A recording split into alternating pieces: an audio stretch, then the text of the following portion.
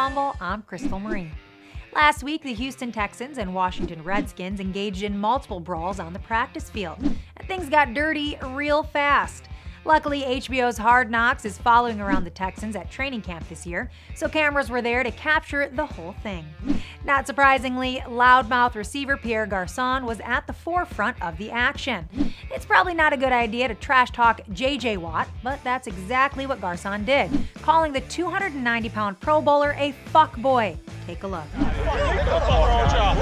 You gonna keep pushing that man like that? I do whatever the fuck I wanna do, fuck boy. What? I do what the fuck I wanna do, fuck boy. How about Garcon coming at you? Dude, I was like, bro, you're, you're maybe 112 pounds. You might want to stay the fuck back. You got defensive line. We got into it every year in Indy. He's always talking. It's hilarious how stunned Watt is to hear the 216 pound Garcon chirp at him like he'd have any chance against him. One of the epic fights was also captured, and it's pretty incredible. Hey, get out of there! Hey, get out of there! Houston, hey,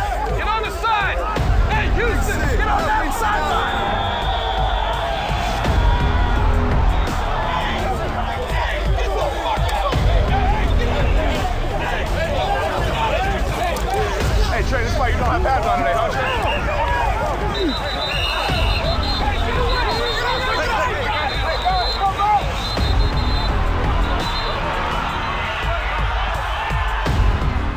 JJ Watt is the scariest man in the NFL, but that clearly hasn't stopped Pierre Garcon from chirping. To watch Cam Newton and JJ Watt make incredible one handed catches at practice, click here.